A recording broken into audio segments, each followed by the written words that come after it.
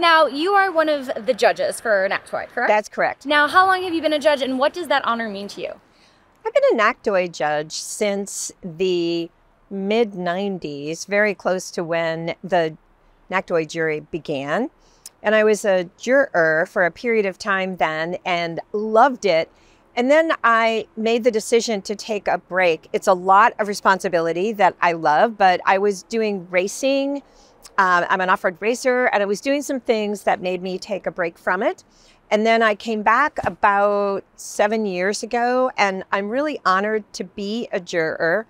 And one of the reasons is I probably have driven 3,000 cars in my automotive career.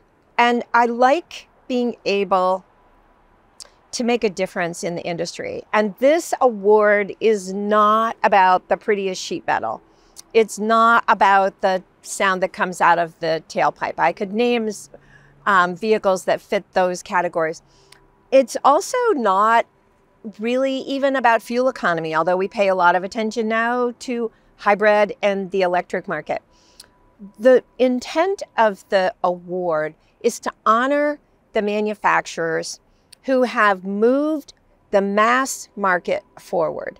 So that means that if something is a very small market vehicle and very expensive, it's not as likely that that vehicle is going to be selected. Although, don't be fooled because sometimes the technology in that vehicle has relevance to the mass market, and we see things get carried over and come down into the mass market that started out in a higher priced area. So, it's such an honor.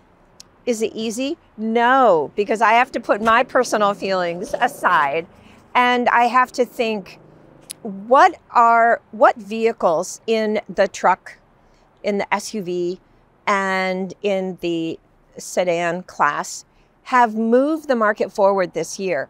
And let's just talk about truck for a second.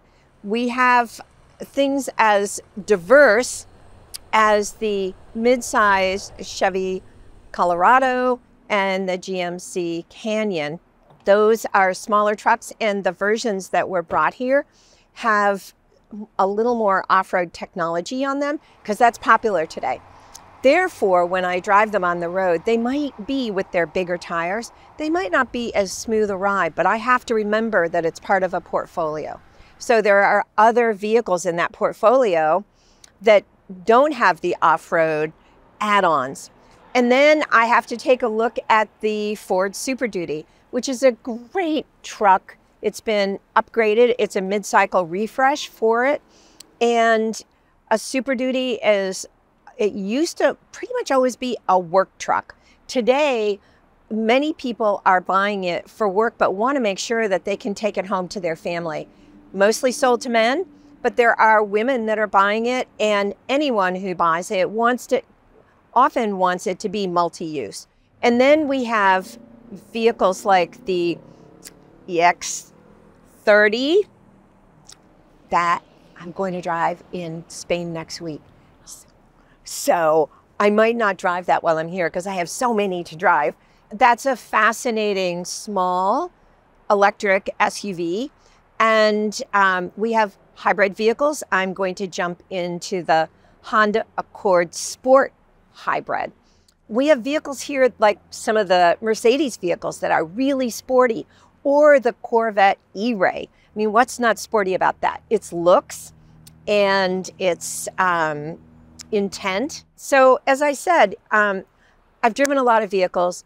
I race off road myself and do that all over the world. And I come back here each year for this drive, and I want to make sure that I'm being fair to every automaker that has taken the time to bring their vehicle here, maybe brought a um, engineer or a subject matter expert, and they have brought their specs, their Monroney for the vehicle. So they've really done their job to educate us as jurors. And then the other thing I want to mention is that many of us will talk to each other. I don't let someone else's thoughts influence my vote. But I will say to some of my fellow jurors, what are you thinking of the field?